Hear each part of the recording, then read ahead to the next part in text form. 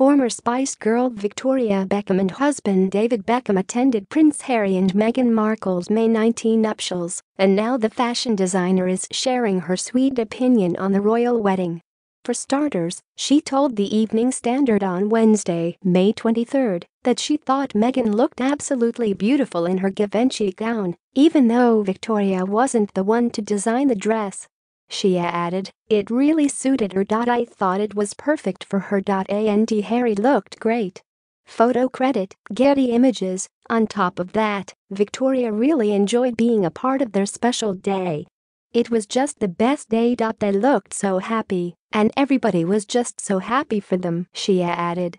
Meghan seems like a genuinely lovely woman who really loves him. It felt very real, very honest. Just a few weeks before the wedding, the designer appeared on James Corden's The Late Late Show to promote her latest collaboration with Reebok. But there was only one question on everyone's lips at the time had she received an invitation to the event of the year? When asked if the A list couple would attend the royal wedding, she stumbled over her words.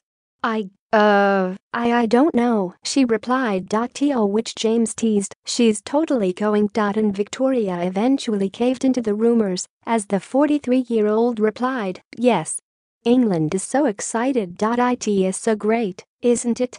They look so happy. Meghan wearing a sweater by Victoria.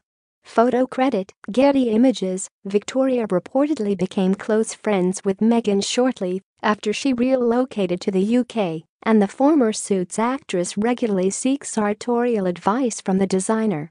A source told Vanity Fair Meghan really likes Victoria's style and was keen to pick her brains about pulling together a working wardrobe. They continued, she loves Victoria's elegant but smart dresses, so expect her to wear one very soon. Though it's hardly surprising, as the royal-to-be donned a cashmere sweater by the designer's eponymous label in the couple's engagement photographs. Fans weren't too surprised to see Victoria and David at the nuptials considering they attended Kate Middleton and Prince William's wedding back in April 2011. At that event, though, Victoria was pregnant with the couple's six-year-old daughter, Harper. However, Victoria donned navy blue to both royal outings. Photo credit, Getty Images. Quite honestly, it was such a relief not to be hugely pregnant at this royal wedding that it was a joy to be able to choose anything I wanted to wear, Victoria added of her attire at Meghan and Harry's event.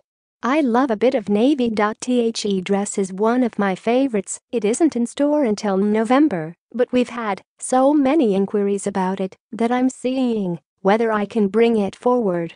We think she looked fabulous that day.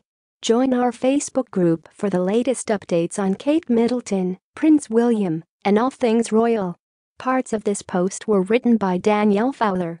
It originally appeared on our sister site, Daily. More from Closer Weekly Will Harry and Meghan's marriage last? A relationship expert weighs in.